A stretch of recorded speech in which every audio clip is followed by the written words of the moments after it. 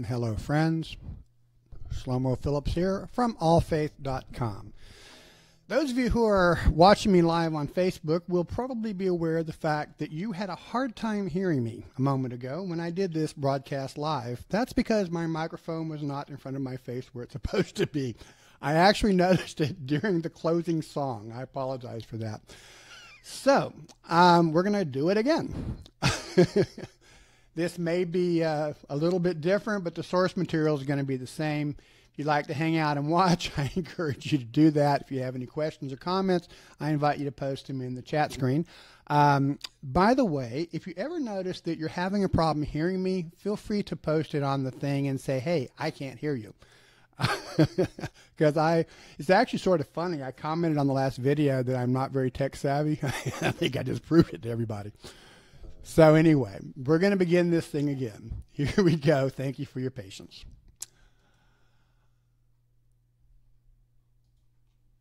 All right. Um, so what we're talking about today is the counting of the omer. What is an omer? And why do we keep counting it? We've been counting the thing for 5,000 years. You'd think we'd have it by now. But we keep counting it over and over every year. Why do we keep doing that? Let's find out. During this broadcast, I'm, I'm sort of comical. When I make a, a big mistake like this, I just sort of laugh at myself and have a hard time being more serious. Um, if you have any questions or comments, though, do post it to the chat screen. I'll be happy to comment on it when I can uh, which will be during the broadcast sometime. If you're watching this live, you'll have a chance to do that. So, counting the Omer. This is a piece that I wrote on April 14th, 2015. Uh, during the Festival of the Omer, each year I post the counting of the Omer live on my Facebook wall. I'm doing it again this year. Can't say I'll do it next year, but my intention is to keep doing this every year. The Omer will be posted to my Facebook wall somewhere around sunset um, during the 49 uh, days, or 49 evenings actually. So the counting of the Omer is actually a biblical command. Most Jewish holidays and most Jewish practices are biblically based. Uh, that's because the Bible is our foundation stone, and of the Bible or the Tanakh, the Hebrew Bible, the Torah is the heart of it. This is a Torah command. It's also one of the 613 commands. Uh, in the average listing of the 613 commands, commandments, which uh, I use, and I think most people do these days, you'll find it is, is a mitzvah number 127. To count 49 days from the time of the cutting of the omer, or the first sheaves of barley harvest, there are various counts, as I said, to the omer, but generally speaking, you're going to find this one at 127 the Torah says at Leviticus 23 15 and 16, And you shall count for yourself from the morrow of the rest day, from the day that you bring the Omer as a wave offering, seven weeks. They shall be complete. You shall count until the day after the seventieth week, namely the fiftieth day, on which you shall bring a new meal offering to the Lord. That's Leviticus chapter 23, verses 15 and 16. We know that we have biblical commands that we don't always necessarily understand how to do. That's why we have the oral law. The oral Torah tells us how to do these biblical commandments. Chabad gives us a lot of insights into the counting of the Omer as they do on many topics. Here's what Chabad says on this particular subject. From the second night of Passover, which is today as I'm recording this, until the day before the holiday of Shavuot, that's when the Torah was given, the Jewish people engage in a unique mitzvah called Sefirat HaOmer, or the counting of the Omer. The Torah commands us that during this time each year we are to count seven complete weeks for a total of 49 days. At the end of the seven week period, we celebrate Shavuot, which means weeks. This is considered to be a mitzvah. So the count, which takes place each evening, is preceded by a blessing. Uh, this is me. When you're going to do a mitzvah, you always like to do a blessing first. However, continuing, we may recite the blessing only if we have not missed a single day's counting. If we have omitted the counting of even one night during that stretch, proceeding to the point when we missed in other words, and did not make up for it during the daytime without reciting the blessing, we may no longer recite the blessing, but instead we must listen as a friend recites the blessing, and then we do the counting.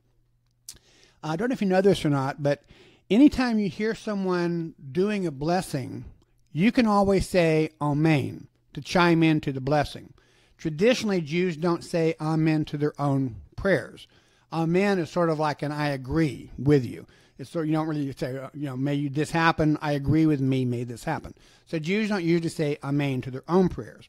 But when you hear someone else reciting a blessing, you can always say Amen. Ahuva, would you mind getting me some water? So when you're doing the counting of the Omer, if you miss a day, you can make up for it the next day, and then you can continue your count. But if you don't make up for it before the next time for counting comes up, you're not allowed to say the blessing anymore after that because you have not recited them all. So let's continue with Chabad. Why do we count these days?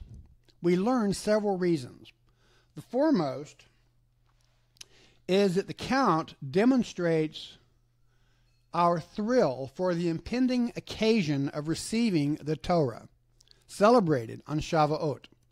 Just as a child will often count the days until the end of school or of an upcoming family vacation, so too we count the days to show our excitement at again receiving the Torah, as we do in fact receive the Torah in a renewed sense every year. We also learned that this period is meant to spiritually prepare and refine ourselves. When the Jewish people were in Egypt nearly 3,400 years ago, they assimilated many of the immoral ways of the Egyptian people. Parentheses by me, just like today, we have assimilated and we have adopted many of the uh, spiritual defilements of Western societies. So we're in the same situation in some ways as those Jews who were in Egypt. Continuing, the Jews had sunk to an unprecedented level of spiritual defilement. They were on the brink of destruction. But at the last possible moment, the children of Israel were miraculously redeemed. They underwent a spiritual rebirth, and they quickly ascended to the holiest collective state that they had ever reached. They were so holy, in fact, that they were compared to angels when they stood at the foot of Mount, Zion, uh, Mount Sinai to receive the Torah. It was during that 49 day period that they underwent such radical transformation from the lowest lows to the highest heights in just seven weeks. The commandments of the Torah are not meant merely as our history, but instead they represent our ongoing life lessons for every Jew. We learn the Torah as freshly received every day of our lives, and we approach it and its commandments with the appropriate vigor. So, too, we must digest the lesson of the counting of the Omer. It is specifically during this time period that we strive to grow and to mature in our spiritual state. The Torah was not uh, rather, the Torah does not allow us to become satisfied with our current level of spirituality. Instead, it tells us to set ever higher goals for ourselves and to then methodically strive to reach that goal. The growth that occurs during this time is akin to a marathon. We pace ourselves and we seek to improve ourselves day by day until finally we reach the day when we again receive the Torah. In this process, we look deep within ourselves and we work on all of our negative attributes. If we are challenged, for instance, in the realm of kindness, then we go out of our way to do charitable acts. If we're lacking in an area of justice, then we hold ourselves to the highest possible standards while exacting and demanding in our personal behavior and our habits justice. And so it goes for all of our traits. This is paraphrasing, or actually, it's a quote from Joachim Elfort. So, this is me. So, the period of the counting of the Omer, the purpose of it is to remember a historic event. But more than that, it's to honor the earth from which we receive the grain that sustains our life. But more than that, the Omer tells us to look deeply within ourselves, within our own consciousness, to purify ourselves. During the holy period uh, just prior to, um, to the Day of Atonement, we look outward from ourselves to our neighbors and to our fellows, and we apologize if we have wronged anyone. We try to make up for any short and slight comings that we've had with other people in our dealings with people. We try to seek the forgiveness of other people, knowing that through that process we'll receive the forgiveness of Hashem. This time of year, however, it's different because here in the springtime of the year, we're looking within ourselves. We're looking within ourselves to try to figure out how to purify ourselves. We count the Omer as a way to purify our consciousness, as we'll discuss in a few minutes. So this is very different. It's also important to realize that the rabbis teach us we should not say, as God gave Torah to our ancestors. Rather, we should say, as God gave me the Torah. We discussed that on my um, on my video for Pesach.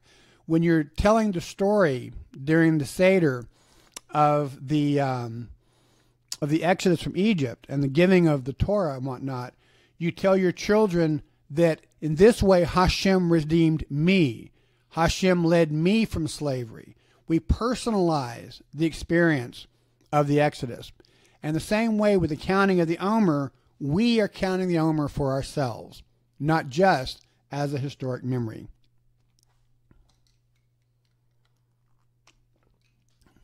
Now we have the question what is an Omer? Uh, Zohar Prince de Leon is with us and says, I love this man. Thank you, uh, Zohar. I'm glad that you're here. So now we're going to look at the question what is an Omer? Well, basically, an ancient an Omer is an ancient Hebrew dry measurement. It's a tenth part of an ephah. This would be considered about 3.64 liters or 3.8 U.S. quarts. An omer is also a sheaf of corn or an omer of grain presented as an offering on the second day of Passover, which is today as I'm recording this. The period of the 49 days between the second day of Pesach or Passover and Shavuot or Pentecost. So, Judaism, like I think all ancient religions for the most part, has a really solid agrarian or agricultural foundation. As you probably know, Jews don't hunt. We don't take our guns and go out and hunt animals for food. But we do go out and raise crops. We're very agrarian people. And so by counting the Omer, it reminds us of our relationship to the earth. It reminds us that the earth is what feeds us, that the earth is where we get our food from. And we take the Omer from the earth and we bring it to Hashem in sacrifice. So too, we take the Omer of our own consciousness and we offer that to Hashem. The counting of the Omer, therefore, has many deeper levels of meaning. Now, as many of you know, I am very reticent to discuss Jewish mysticism on the internet. There are many reasons why I just really flatly refuse to go into Jewish mysticism on the internet. Among those is that people who are advanced enough to be qualified to delve into Jewish mysticism are not, generally speaking, the people who come to my Facebook page with questions about Jewish mysticism. Because to properly study Jewish mysticism, you have to be studying, you're supposed to be studying under an accomplished Jewish mystic. So, if such a person had a question about such sensitive topics, they would go to their instructing rabbi or their instructing teacher. Jewish mysticism is very powerful and it is easily misunderstood, as we'll speak as we continue on here. But for the counting of the Omer, it is important that I delve into this just a little bit. So, to begin, there are four worlds. We call them worlds in English. Works as good as anything else. Our physical world, the world that we live in, the world that we can sense with our senses, consists of two components, those being the celestial and the terrestrial. The celestial includes the stars and the planets, the physical heavens. The terrestrial is our realm, the physical earth. When you combine the celestial and the terrestrial, together they comprise our physical world. What we can see with our eyes and touch with our hands, including what we can find through telescopes and space exploration. In our pride, we usually think that our world is endless and supreme, but in truth, our world, including the farthest reaches of space as we know it, are only minor realms within the limitless expanse of existence. Whether you're talking a person who's simply egotistical, or you're talking about an expert scientist or philosopher, um, people who think they've got a handle on it. They look at the ancient world scientific knowledge, medical knowledge, and think, oh, those people were idiots. We understand. You don't understand squat. No one has any knowledge before Hashem. No one has any knowledge of anything that really matters. Because beyond us, reality opens up in ways that we can't even comprehend. Did you say that somewhere? In ways that we can't even comprehend. I apologize for that. You were having a little bit of matzah here. and I kept elbowing my plate. Um, so when we say above, we're referring to above our realm as though it was above us. But we know now that the world is actually round. In fact, the Torah, by the way, says that it wasn't news to the Jews when the when the Europeans discovered that. But um, so above us could actually be below us because we're on a round or an oval rotating ball. So, but you know what I mean when I say above. I'm just pointing this out so people don't say, well, there's really no above. You're right. There's not an above. But above our realm is the world of the angels and similar entities. This realm, this second world, is much larger than our world and higher and more expansive than that is the third world, which is the realm of the higher forces. This is known as the world of the throne, or the Merkaba, or the chariot throne. It was referenced by prophet Ezekiel in chapter 1 of his book, the book bearing his name. This level of really of reality is beyond anything that we can actually conceive. And yet Hashem gives us ways that we can even try to conceive that. Prophet Ezekiel is the only biblical prophet who actually describes the mechanics of his revelation, of his realization, of his visionary state, as he describes the Merkaba in the first chapter of Ezekiel. Now, Ezekiel describes this in human terms that he could sort of get a handle on. But even his realization transcended his ability to understand and properly share. The symbolism of Ezekiel chapter 1 is the foundation stone of Merkaba meditation, Merkaba mystical studies in Judaism, and is a foundational principle of many forms of Jewish mysticism. So understand that the worlds above ours are all teeming with diverse entities, for lack of a better word, with individualized life. Torah says that humanity is the highest. We're the highest creation because we're given this freedom of choice and because Hashem has blessed us in unique ways. But we are not alone in the multiverse, so to speak. There are many, many, many life forms beyond our comprehension in higher realms than we are. And higher still than that realm is the realm that can only be called a world in a general sense because we don't have anything better to call it. Even the Hebrew reveals that we don't have really a suitable word. This realm transcends all description and it encompasses realities that we can only speak of in philosophical or allegorical terms because that reality is so far beyond our finite comprehension, we simply cannot even hazard a guess as to what it's like beyond using allegorical terms. This is the realm of divine influences that emanate from the Holy One. Blessed be He. In this realm, to help us get a handle, the Torah often will use courtly language. We think of Hashem as a king sitting on a throne with his court administrators around him. But understand this is a metaphor. Hashem has no physical form, but we need help to be able to get a handle on understanding this. These are the revelations or emanations of Hashem's divine light from which everything exists and comes into being. This is the world of God. Although, again, the term world doesn't really apply in any practical sense because there's absolutely no place that is devoid of Hashem's active presence.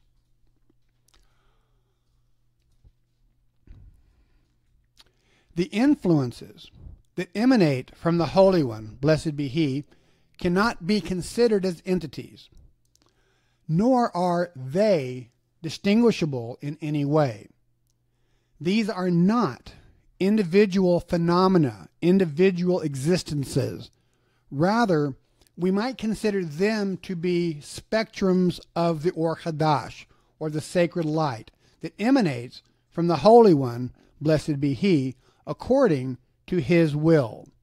So, we're not talking about 10 separate beings. We're talking about light spectrums, and we're trying to do it in a way that we can get our consciousness around. Through these spectrums of sacred light, the Holy One bestows all of existence, both the particular and the universal, to the creatures according to their diverse natures, which are according to His creative designs. Understand that not all realms are the same, and that not all entities are the same. We in the West tend to speak of individual rights to equality. Individual rights and equality don't quite mesh because each individual is unique. We have three dogs, and each of these three dogs have very different personalities. They all have the right to eat when we feed them, and they all have the right to do what we decide to allow them to do, but they're not the same. They're not equal in any kind of a real sense. So too the creatures, Hashem has determined each of us, our nature, our life choices that we're permitted to have within the confines of His will. Hashem provides to each being according to its own nature and according to its needs through the emanations of His light, light being singular here. On this chart, you will see a slight physical example of what I'm talking about. You will see that there are the 10 emanations 1, 2, 3, 4, 5, 6, 7, 8, 9. And then here is Da'at. And we're not going to discuss Da'at. In fact, we're not going to actually get into any of these individuals. But these are the 10 Sephirot here in the Tree of Life that we're going to be talking about. These emanations, therefore, are one. They are not separate entities. And yet, they can be categorized or conceptualized, just like music can be conceptualized as being one, and yet music consists of diverse notes that are played. Kabbalists and Jewish mystics are experts at playing these diverse notes to create celestial music. Related to this concept is the ten utterances that are referred to in the first chapter of Bereshit or Genesis. You recall there that Hashem said, Let there be, and there was. There are ten of these divine utterances. The graphic that I'm showing you now on the screen has the Sadiq. The Sadiq is a pious person. The Sadiq is pondering the Torah scroll in his hand, And through the Torah scroll, he is realizing the microcosm and the macrocosm of all of existence. These are the ten emanation or sephirot, sephirot of his own being. This is conceived of in other terminology as the palace or the house of Adam Kadmon or the original primordial man, not to be confused with Adam in the book of Genesis. Adam Kadmon is humanity and its potential.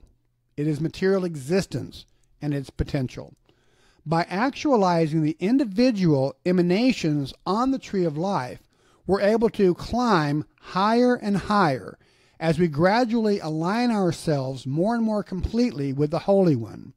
Blessed be He.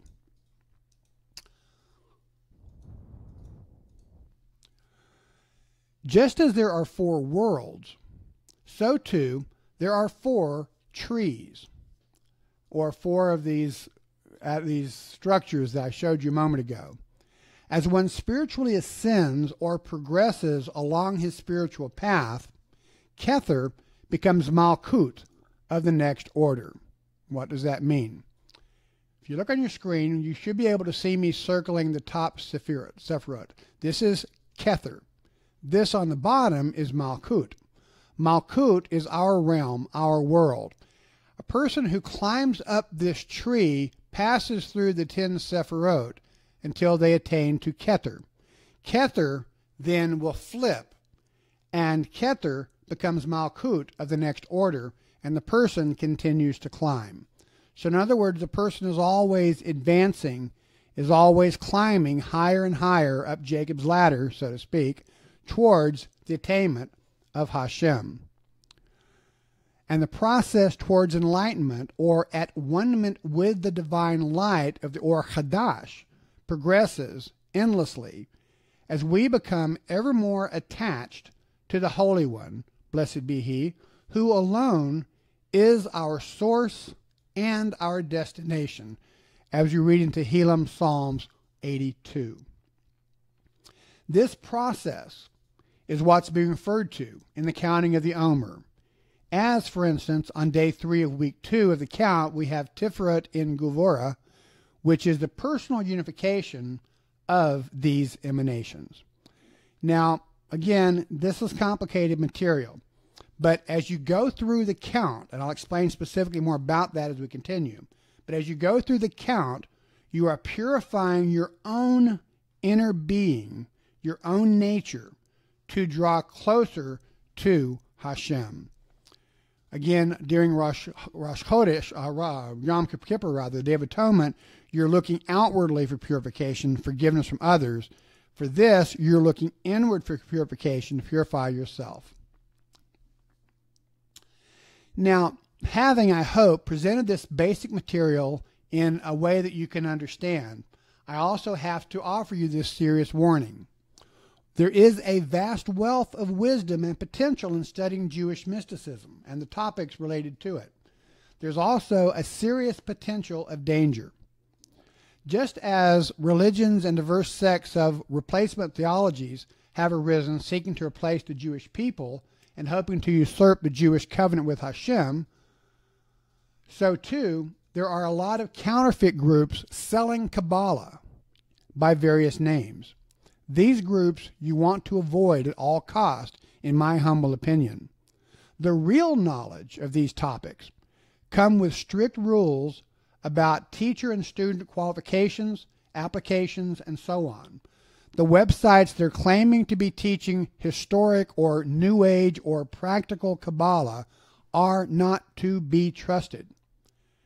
To study these ancient Jewish topics, one needs to be Jewish this is not intended for the other nations, and one must be very well versed in the Torah and the Tanakh, the Mishnah, the entire Talmud, and so on.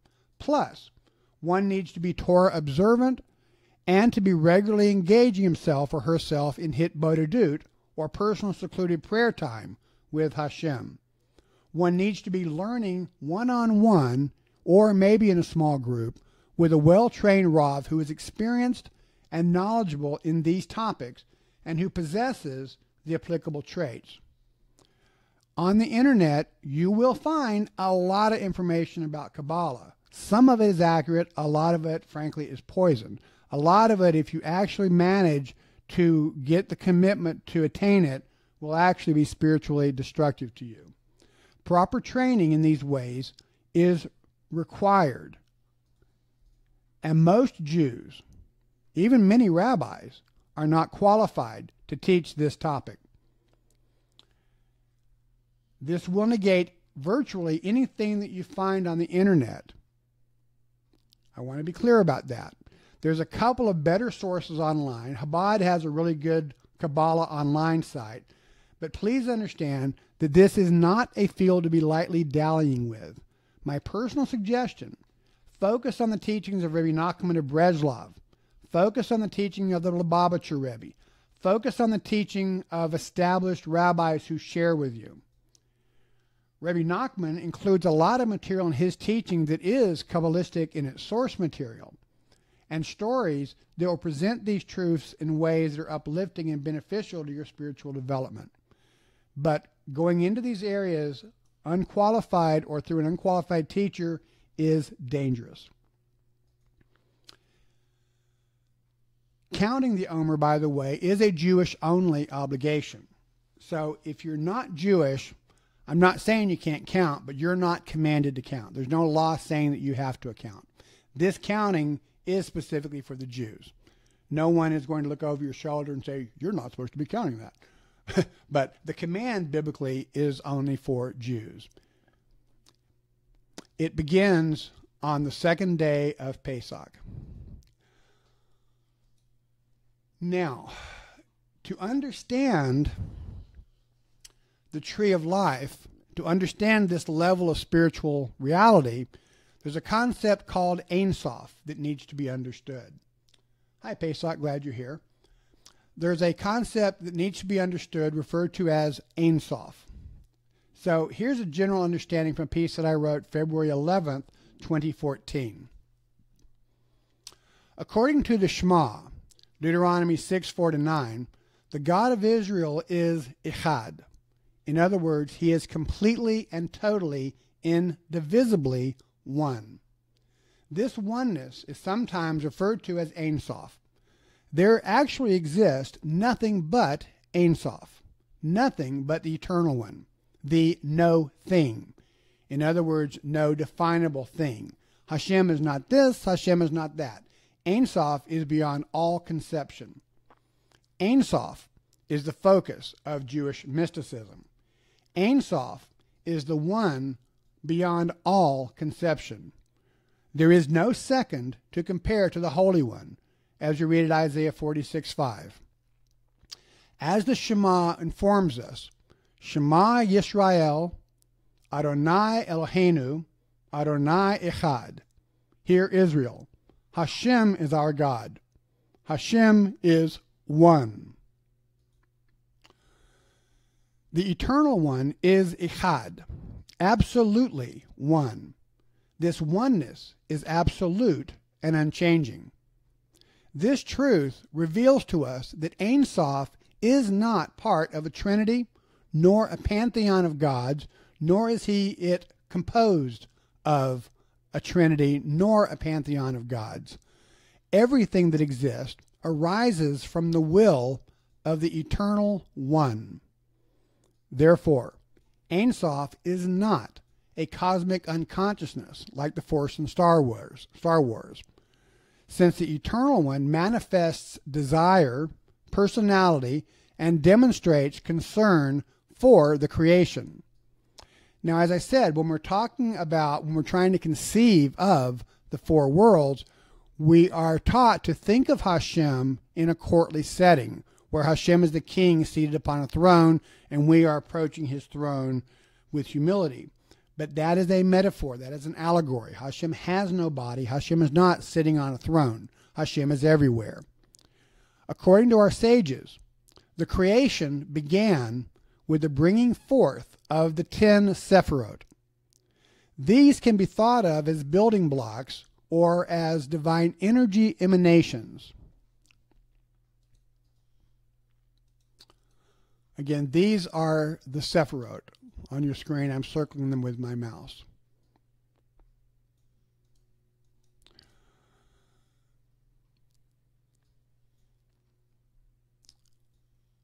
This conception, as the rabbis began understanding it, led to some confusion. People who were trying to grasp the inconceivable nature of this determined that the ten Sephiroth must be gods, or manifestations like the Baals or the demigods. But this simply is not so. There is no God with God, as it says at Deuteronomy 32:39. This is a good example of how easily one can be led into error. It makes sense to think of these as like demigods, but it is not correct. One must properly understand the Torah to avoid such confusion. One must properly be taught by masters in the arts of Jewish mysticism, one on one, personally, in order to avoid confusion. So, with the creation, or in the beginning, Ein Sof is partially revealed as the Elohim. So remember, you had Ein Sof, and then you had the Or Hadash coming into the void. That we can conceive of as Elohim, the conceivable God over all gods. There is a mistaken idea that since Elohim, the word, is a plural noun, it means that there are more than one God. Christians often like to point to this to say that's a trinity. However, this plural noun is always presented in a singular form. And when it says Elohim created, it then says, Thus did God, singular. So Elohim is the God of all gods. There are no other gods. But in the ancient world, people conceived of many gods. Today, we still conceive of many gods. We just call them cars or money or wealth. But people conceived of many gods. And so the point was that if you want to believe in many gods, knock yourself out. But God, Hashem, Elohim, is the God over all gods. This is what Elohim refers to. I spoke about this in a previous talk. From Elohim, the Creator, came forth, comes forth, all existence, other than Ein Sof, of course, who has neither beginning nor end. Creation, nor concept of time where beginning or end would even be applicable. Creation emerges from the oneness of the Ein Sof, from the void that was established for this purpose. All of our world, the first world, all of it exists within this void, without in any way infringing on the echad or singular nature of the eternal one. And this, again, is difficult to conceive, and is again why it is important to have a qualified instructor with you, personally, physically, not on the internet, to help you conceive of these things. This calling forth by Hashem produces Adam Kadmon, the tree of life, primordial primordial man existence. Now, don't be confused here. Again, this is not the Adam Kadmon from this is not the Adam rather from the Garden of Eden. But Adam Kadmon is sort of a prototype of existence within which resides all potentiality. Through this coming into existence, the ten Sephiroth, or the emanations of the One, manifest. With the coming forth of these ten emanations, the creation takes the form and boundaries within time and space. Hashem, Ein Sof, has no boundaries, and time and space have no existence. The terms, the realities have no meaning for Ein Sof. But that which is within time and space is infused with independent life by the will of our Creator. In truth, however, there exists nothing except the Ein Sof. What is created as a separate existence from the Ein Sof, those created things, especially humans, primarily humans as far as we know, through emuna, or active faith and trust and humility, are able to attain spiritual harmony with the Holy One. This is the path of the tzaddikim, the righteous people.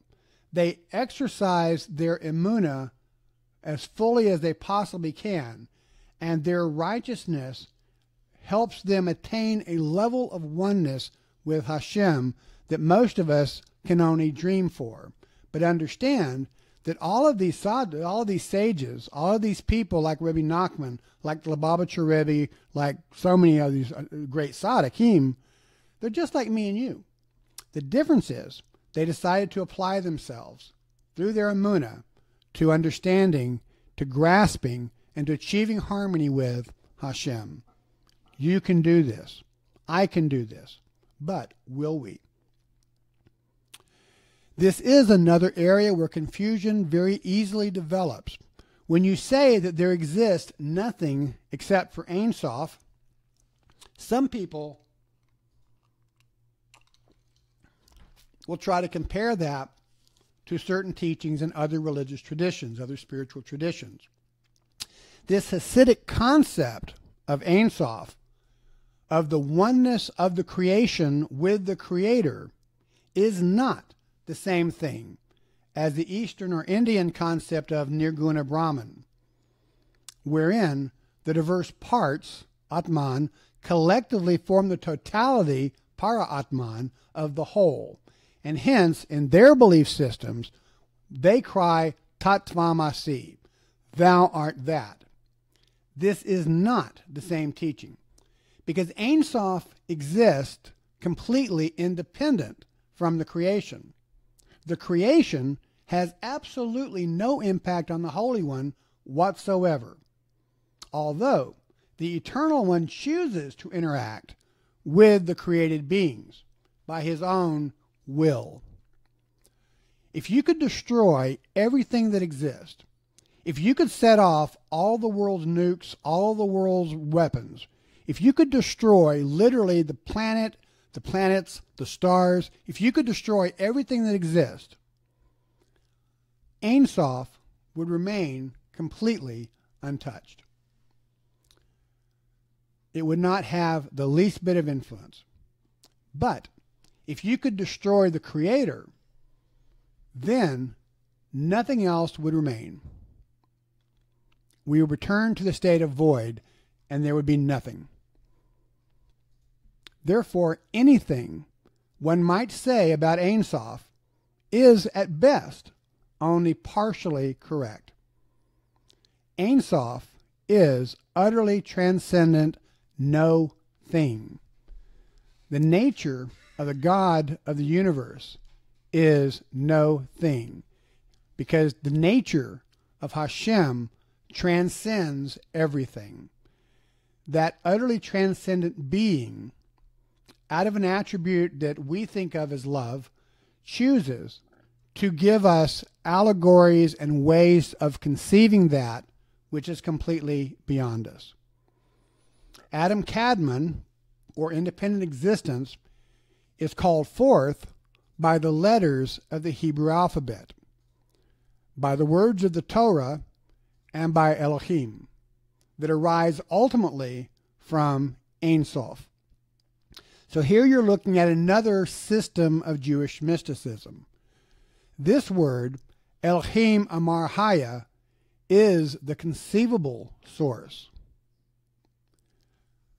From this conceivable source, it is understood that the utterance of the sacred language draws forth from the emanations, these ten emanations, as one draws water from a well.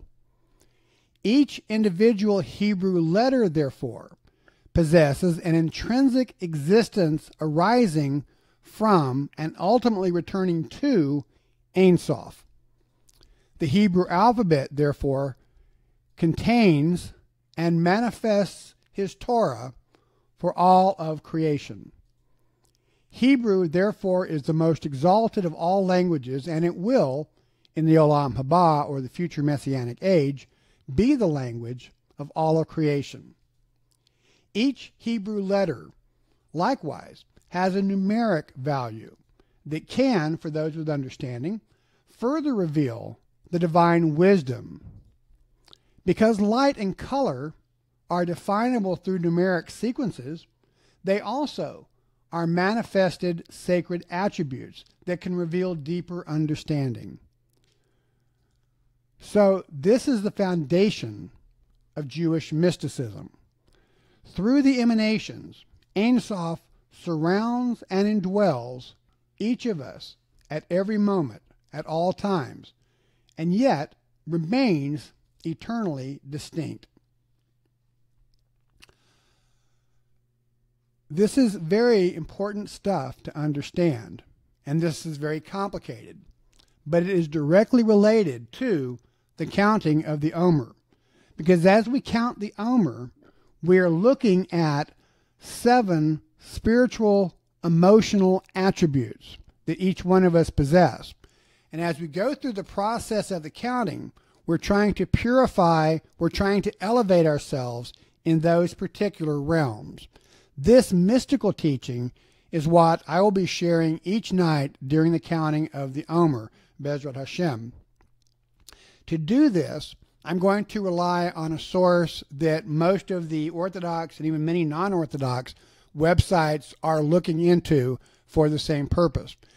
It's the work of Rabbi Simon Jacobson. Rabbi Simon Jacobson is the rabbi at meaningfullife.com. Meaningfullife.com. His daily Omer meditation is a major hit with people throughout the Jewish movement because it takes each night of the count and gives us a spiritual focus to look at, to purify ourselves. And that is the source that I'm going to be using again this year for my uh, counting of the Omer meditations. These meditations will be posted each night right around sunset on my Facebook page. On the Shabbatot, on the Shabbat Sabbaths, I will be posting obviously before the um, before the Sabbath begins. On nights like tonight, which is the second day of Pesach, uh, Huva and I are going to go to the local congregation for the second uh, night Seder. And so again, tonight I'll be posting this earlier. But wherever you live at, you want to count the Omer after sunset to do it properly. Those who live to the east of here, who live in Africa, who live in Israel, those places, you probably will already be well into darkness before I, well, you will, before I post the Omer. Those of you to the west of us, like in California where I used to live, when I'm posting it, it'll still be about three hours from dark, usually there. So count the Omer after it gets dark in your area. Um, Rabbi Simon Jacobson does an excellent job of presenting the purpose and the meditations related to the counting of the Omer. So each night I'm going to post the count as well as his meditation. Rabbi Jacobson writes With the mitzvah of counting the 49 days, known as Sefirat HaOmer, the Torah invites us on a journey into the human psyche, into the soul. There are seven basic emotions that make the spectrum of human experience. At the root of all forms of enslavement is a distortion of these emotions. Okay, my thought, but I think is a good example of what he's talking about.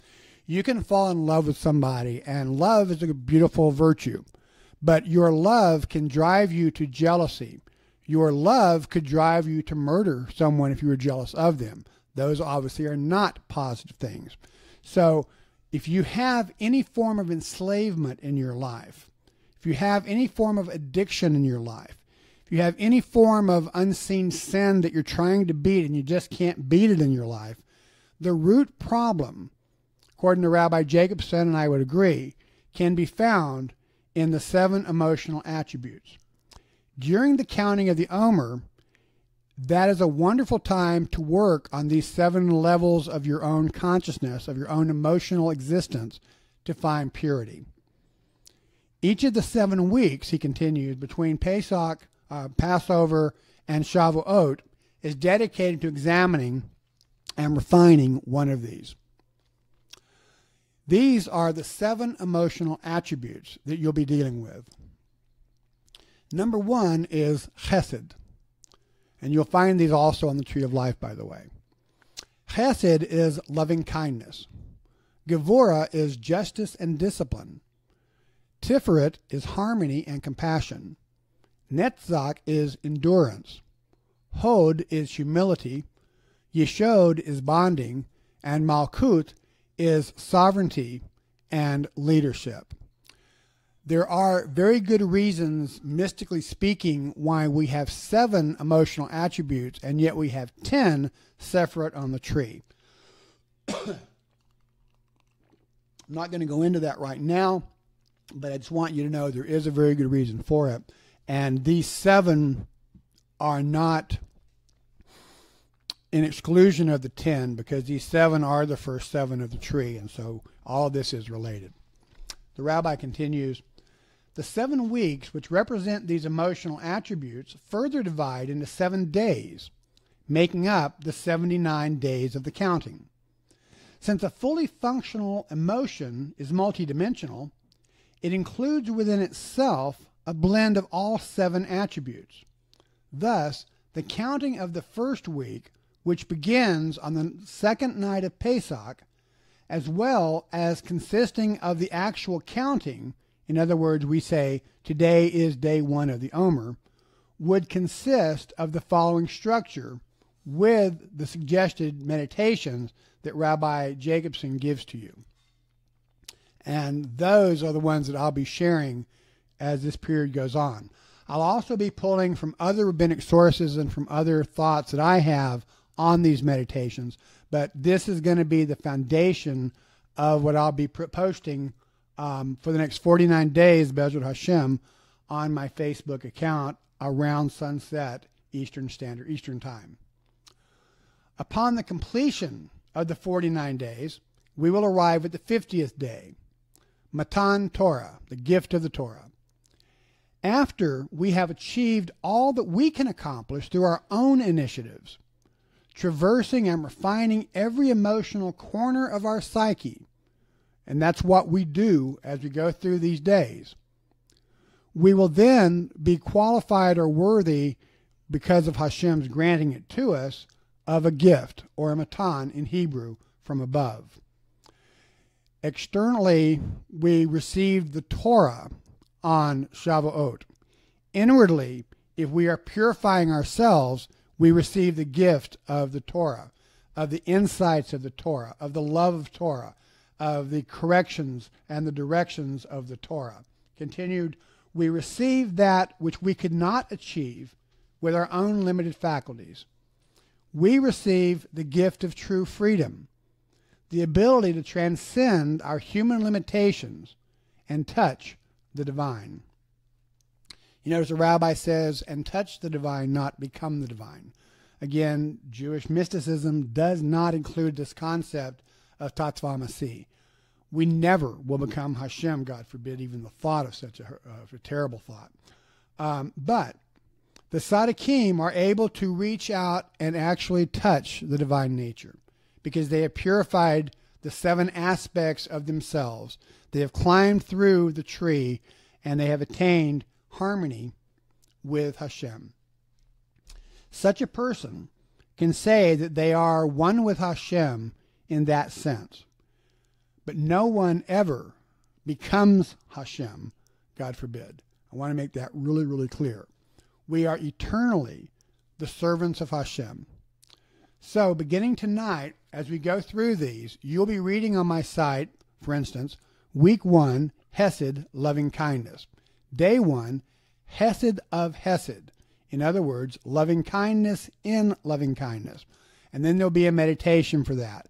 And then on day two, you'll have Gevura in Hesed and a meditation on that.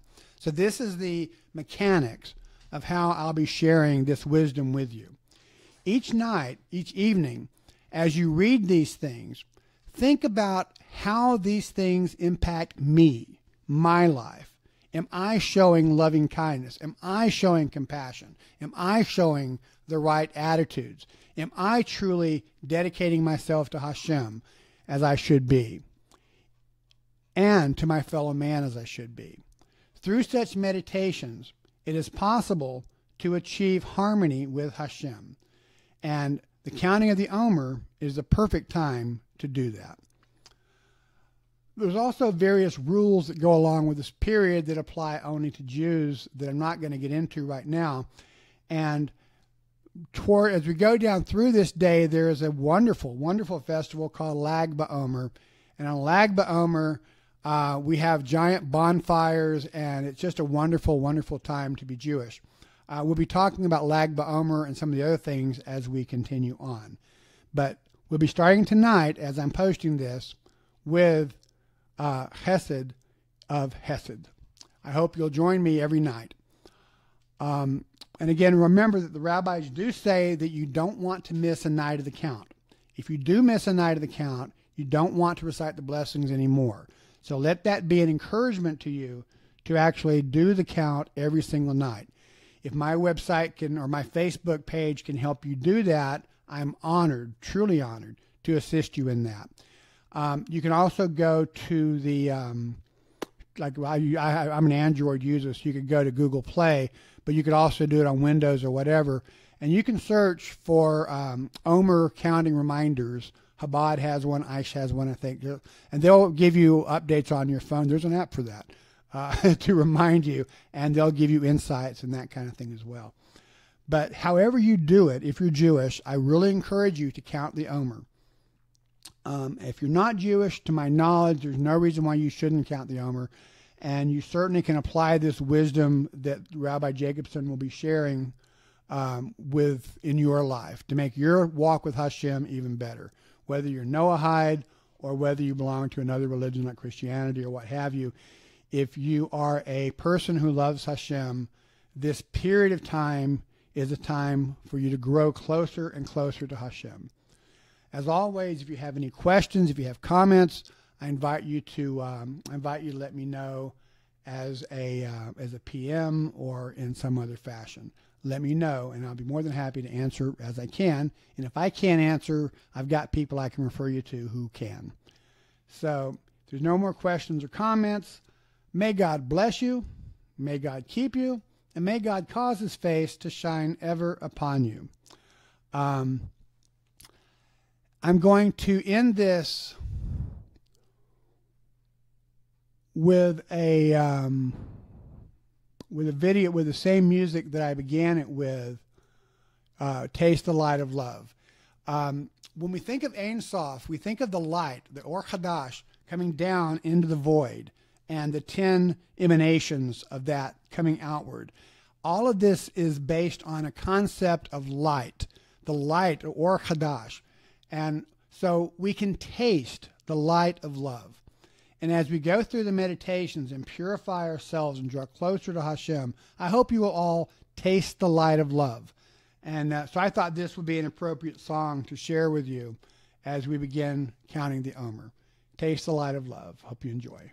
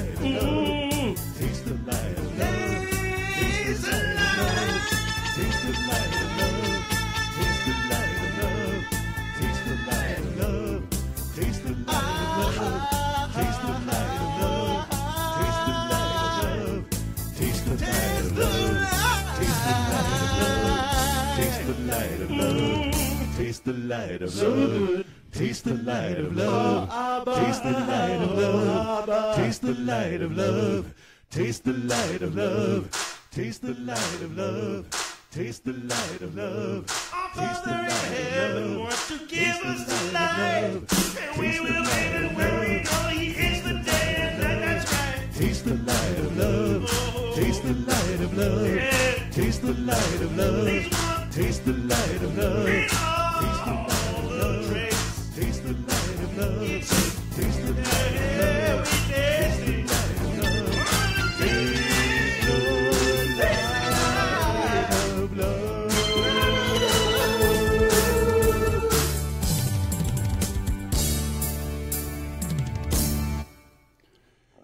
May God bless you and keep you, and may he cause his face ever to shine upon you, now and forever.